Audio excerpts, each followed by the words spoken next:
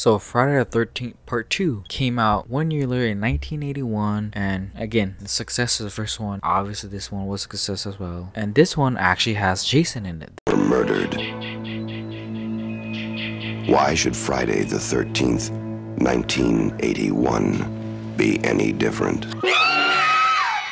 Friday the 13th, Part 2. killer. But the issue is that doesn't make any goddamn sense. Before I get into like the trivia and facts, let's just talk about this. It really the fact that they bring back Jason, which again, this boy drowned in 1958. He would have been a couple years old, like four or five, let's say. 22 years later, it would have made him in his late 20s. And how did he survive? This did Pamela just make make it up? She's like, I'm just gonna rationalize this and make it up so I can go on a killing spree for like 20 plus years. Like, was that like the rationale? It does not make any goddamn sense. That's why Jason is alive, big, built, and going and killing people again. It doesn't make any goddamn sense. It's something you have to get over. I'm really watching and be like, how does he come back? It doesn't make any sense. There's a bunch of plot holes and everything. I was like, okay, I'm gonna have to get over this. And you, you have to have. If you don't, man, you're gonna be sitting there just thinking for years. You know, this one has a sidekick Jason with the one eye Pico thing, which looks cool. I didn't mind that look, but obviously the hockey mask looks way cooler and it's very iconic. But yeah, I just had to mention that in the beginning. It makes no sense to why they brought back Jason. But anyways, this is kind of the trivia.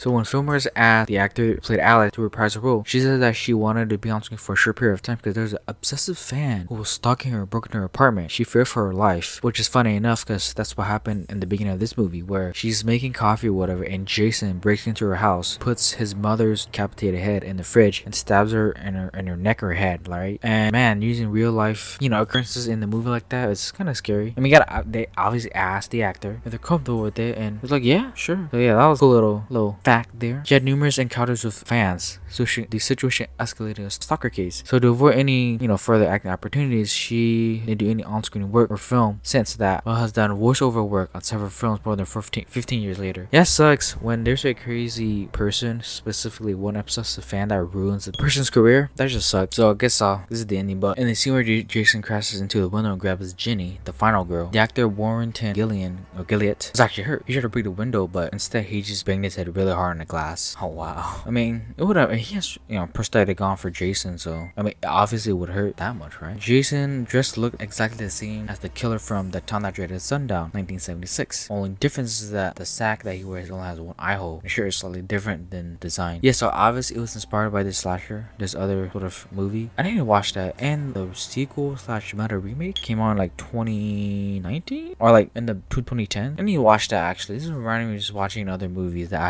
that I need to watch here in quarantine time. Still in October. Plot of Part 2 shocked most people associated with the original film. Betsy Palmer, Tom Savini, and Sean Cunningham all have made public remarks on how stupid it was that Jason was alive the whole time. If he was only then why didn't he just tell his mother that he was alive, which would avoid all the murders in part one? Yeah, it's just like you know the studio was like this made a lot of money and we want to milk the shit out of it, and they did. And yeah, and a lot of little lot of stupid decisions. Not all of it was dumb ideas or decisions, but oh man, oh I didn't just get over that. Amy Steel, final girl Ginny, stated that she found the shooting window scene difficult. The shot required three takes, and her frightening reaction is genuine because the shot was in slow motion. The high-speed camera was used. Every time she heard the film start running, tense up and get scared. Yeah, that like this couple of movies in like in like fake outs, and that's just kind of not my favorite cup of tea, but in some fake outs and and like slow motion shots or like still shots. And it's kind of like okay, sure, but apparently Amy Steel was actually genuinely scared, so she acted the shit out of that for for that end scene. The movie has one of the longest pre-credit sequences in cinematic history, nearly 15 minutes in some versions. Okay, one thing I will mention is the first six minutes of the movie is recap, and the first couple they do this recap thing in, in the beginning of each movie. It's like I get it, it's to remind audience, but someone who's binge watching this series right now, God,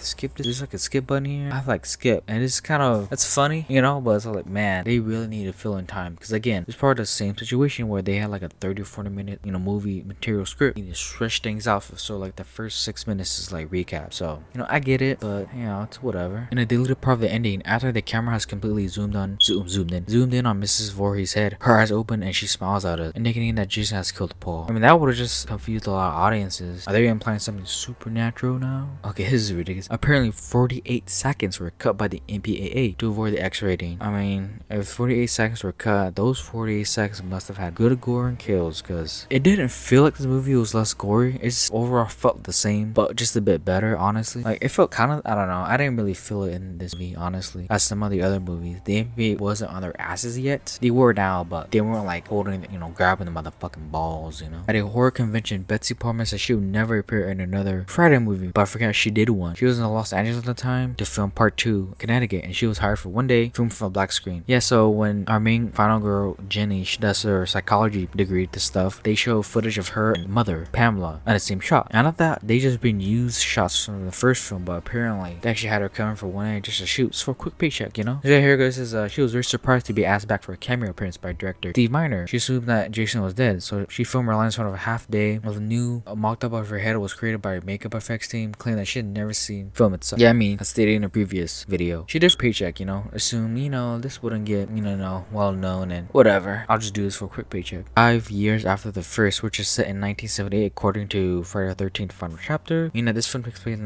1984 during both summers. Both Friday the 13th occurred in June, making this film take place five years after the events of the first film. Yeah, I don't. I mean, you have to look up the timelines for this movie, for this franchise specifically, because I don't pay attention to that at all. Honestly, all of it feels the same to me, if I'm being completely honest. But Walt Gorney, who played Crazy Ralph, was seen many times walking around set talking to himself. It's possible he did this just to get more character. Yeah, I like Crazy Ralph. He did come back for the sequel, but it, it sucks that Jason does sadly kill him by choking his ass out in this movie. Sucks, know, he was just that goofy, crazy old man that no one would listen to, and I liked him, you know, I liked him. He, he was a very minor character, just very little role, and I like probably my favorite character, honestly, in these first two. But okay, so according to director Steve Miner, the ending where Jason attacks Ginny through the window is not a dream, but gives a mystery as to what happened to Muffin. Wait, who the fuck's Muffin? Oh god, I'm forgetting a lot of characters. Again, I don't know Ginny, the final girl, and Jason. Who the fuck is Muffin? They're referring to Paul or her boyfriend? Shit, I don't know. Characters are so forgettable. The actor playing this Jason actually the shortest at 6'1". That is considered short? Jesus. Know, I mean, I know that Jason's tall, but 6'1 is the shortest? Fucking ridiculous if you ask me, man. Tall as shit now. It is believed that Paramount had not agreed to finance this film following the sequels. Warner Brothers distributed the first film outside of the US great success and were willing to step in and take over. It's kind of shitty on Paramount. I don't know what their financial state was like in the 80s for both Paramount and Warner Brothers, but I'm assuming Warner Brothers were pretty big at the time, way bigger than Paramount. So they want to, you know, they saw dollar signs and they funded it. So yeah, there's that. So Warrington, starring Jason, dropped off the production citing injuries. So at least two other people took over as Jason in the role for the movie, including a female who was standing for moments at the beginning of the film while they're filming Jason's feet stalking Alice. Oh really? That was a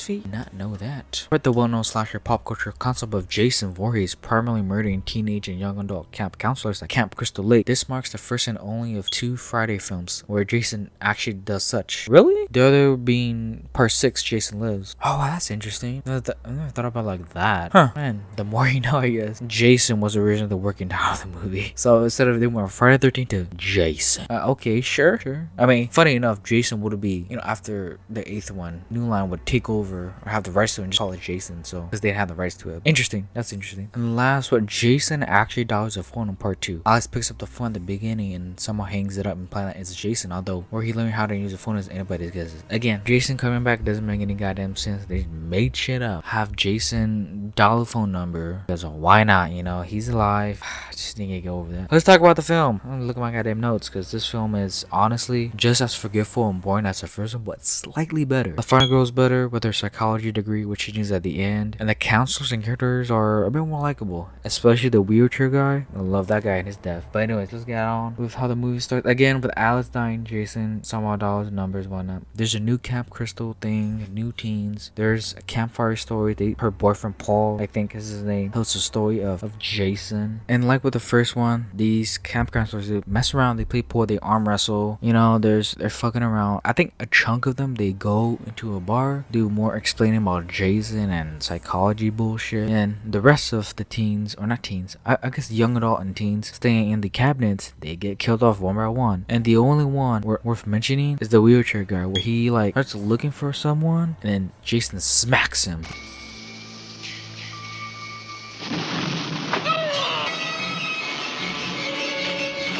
Machete in his wheelchair and himself starts falling down these stairs. And I still laugh at that. Hilarious, man. It's still hilarious, man. Seeing this guy falling down these type of stairs. He's handicapped. He's crippled. And Jason just brutally murder him. Just oh, and he falls back and falls down these goddamn stairs. And, and it like zooms in and goes white for some reason. The editing is kind of weird too. It zooms in goes white. Weird, but a hilarious kill. And then I think the half chunk of kids they go, or I think it's just Ginny and Paul or her boyfriend, whatever the fuck. And then they see that all everything's in shambles. Popcorn's being popped. Stuff are being cleaned. And then obviously she and Paul face Jason. They obviously run out of the woods, just like the trope would be. That There she meets his shed. Oh, by the way, let's talk about this shed. Apparently, he lived in this shed. This cop comes by and he gets killed by Jason. And so while he's been in his shed, he decides to have his mother's head in this shrine in this shed. And so Ginny, you know, she sees that. She gets creeped the fuck out. She decides to put on the jacket and use her psychology degree, which is. Jason! Done, Jason. You've done your job well, and Mommy is pleased. Ah, That's a good boy. Now come to Mommy.